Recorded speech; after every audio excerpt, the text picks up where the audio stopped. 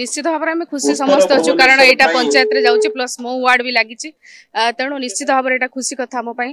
ଏଇ ଅଞ୍ଚଳର କହିବାକୁ ଗଲେ ଆମର ଉତ୍ତର ଭୁବନେଶ୍ୱର ଯେ ଆମର ଦେବୀ ମା ଶିଖରଚଣ୍ଡୀ ତାଙ୍କ ପୀଠସ୍ଥଳୀକୁ ଯେତେବେଳେ ଏତେ ଉନ୍ନତିକରଣ ହେଉଛି ନିଶ୍ଚିତ ଭାବରେ ଏଇଟା ଆମ ସମସ୍ତଙ୍କ ପାଇଁ ଗର୍ବ ଓ ଗୌରବର ବିଷୟ।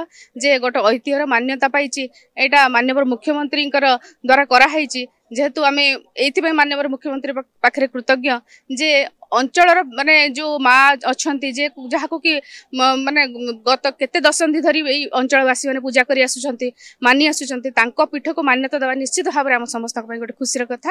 ସମସ୍ତେ ବହୁତ ଖୁସି ଅଛନ୍ତି।